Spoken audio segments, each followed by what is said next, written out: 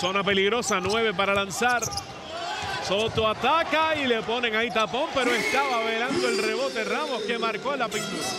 Vaqueros 60, Leones 59.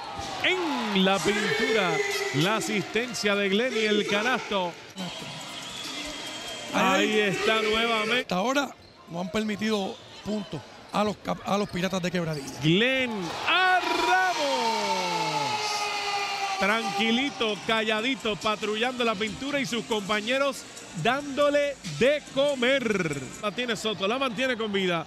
A correr suero, como le gusta a Ramos, el dueño y señor de la pintura, el protagonista de la película. Suero, suero.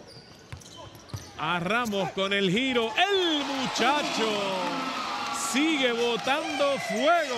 Dominan a los cariduros de Fajardo 19 por 15. Y es la razón por la que los cariduros, los piratas han tenido opción. La banca la estaba aportando en la noche de hoy. Hace de Melo Trimble hacia Mike Rosario. Y Ader Fernández falla, pero ahí estaba en la pintura Glenn, aunque no pudo anotar. Ahí está. 16 en un momento dado.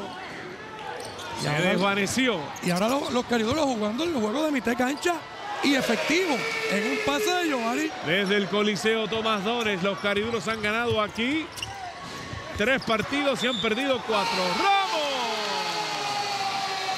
Balón que le cae cerca, balón que atrapa, balón que convierte.